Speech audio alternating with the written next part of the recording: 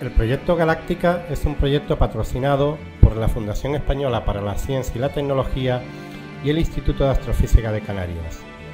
Este proyecto está dirigido por el doctor Miquel Serra Ricard, astrónomo e investigador del Instituto de Astrofísica de Canarias, el reconocido astrofotógrafo Juan Carlos Casado, Daniel Padrón, colaborador y participante asiduo en proyectos astronómicos y con Chelios, y Javier Parra, astrónomo y responsable de toda la parte tecnológica de la difusión y desarrollo del entorno web y el marketing en Internet.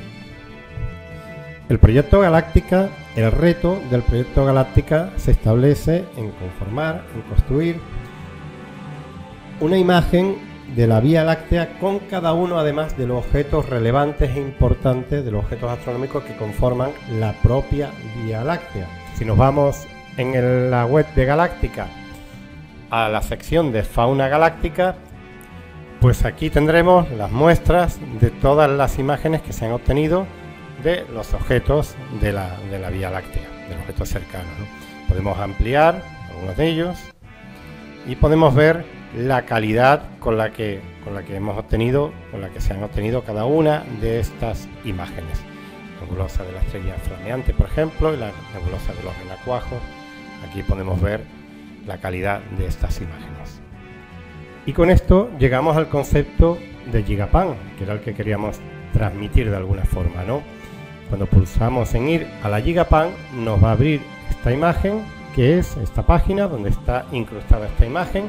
Esta es la Gigapan de la Vía Láctea y si vemos podemos alejarnos y podemos acercarnos podemos acercarnos a los objetos y movernos a través de ella. Podemos acercarnos a todo el mapa de la Vía Láctea y podemos movernos a través de ella. Y lo realmente interesante, lo realmente interesante de esta, de esta tecnología es que si pulsamos aquí en Snapshot, que son las pequeñas, las miniaturas, estas son cada uno de los objetos que conforman, que conforman eh, los objetos astronómicos que conforman la Vía Láctea en el hemisferio norte. Vamos a ir sobre alguno de ellos. ¿eh? Por ejemplo, la nebulosa cabeza de caballo y ya me la está, ya me la está situando en nuestro mapa de la Vía Láctea. Podemos alejar, pero fijaros para saber, para localizarlo, pero podemos ver perfectamente dónde está la nebulosa cabeza de caballo si nosotros la miramos, así miramos al cielo por la noche y podemos identificar, por lo tanto, la posición y veis cuánto nos podemos acercar, por ejemplo, a este, a este bello, a este bello elemento. Si pulsamos aquí además, vamos a tener una información adicional, porque abrimos precisamente una de estas imágenes que se ha tomado desde el observatorio del Teide, altísima resolución, durante muchas horas de trabajo, y podemos además verla con mucho detalle cada uno de los objetos que conforman toda esa zona de la Vía Láctea. Podemos ampliarla, fijaros qué calidad, podemos movernos por ella y podemos acercarnos a cada uno de los objetos, solo la nebulosa cabeza de caballo, sino algunos objetos que están cercanos e identificar a cada uno de ellos. Por lo tanto, tenemos una información adicional de esta área de la Vía Láctea.